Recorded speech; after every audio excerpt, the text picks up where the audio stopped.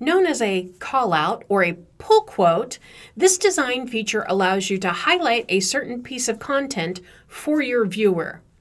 You always want to begin this by styling your text and following any style guides that you've already established for your document. You may want to experiment with text features or things like large size quotes. So let's play with some of these options. So I'm going to bring my text into place. And one thing I've noticed, even though I have things styled, I want to make sure I don't have any indents. And it looks like I just need to delete a space. So now I need to get my text wrapping around the pull quote. To do that, I can bring up my text wrap menu through Window and Text Wrap. I'm going to choose the second object. And notice I have selected my box. My text isn't selected, my text box is selected. Then I can choose to change the distance around my content so that that text wrap works nicely. So that's a good basic pull quote. If I wanted to take it a step further, I could add in a quote mark. Well, this quote mark, we want it to actually be close, but that text wrap is bothering it we can go up to Object and Text Frame options and ignore the text wrap. So that quote mark is ignoring the text wrap.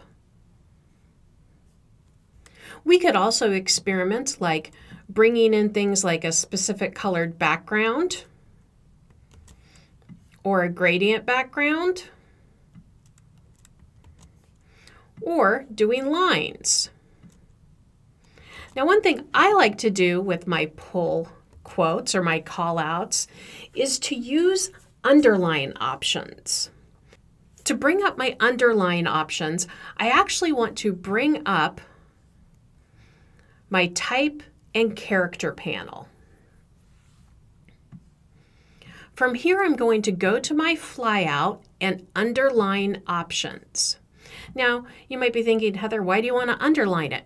Well, I'm going to make my underline look more like a highlight than an underline. So the first thing I'm going to do is change the weight of my underline. And probably don't need to be that big. Let's try 15.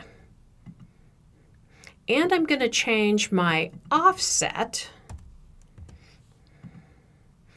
Notice how it's sitting on top of my text. And I'm going to change the color. Notice I could change the tint as well. I can choose different types, but for what we're doing, this is going to be the best option. Hit OK. And there's our look. So we've highlighted our text. And if we want to go back, we can just simply go back to these options. And let's say we want to make this a little smaller and hit OK. I really like how that's looking. So pull quotes callouts are a great way to add a little style and draw your viewer in. Have fun playing with that.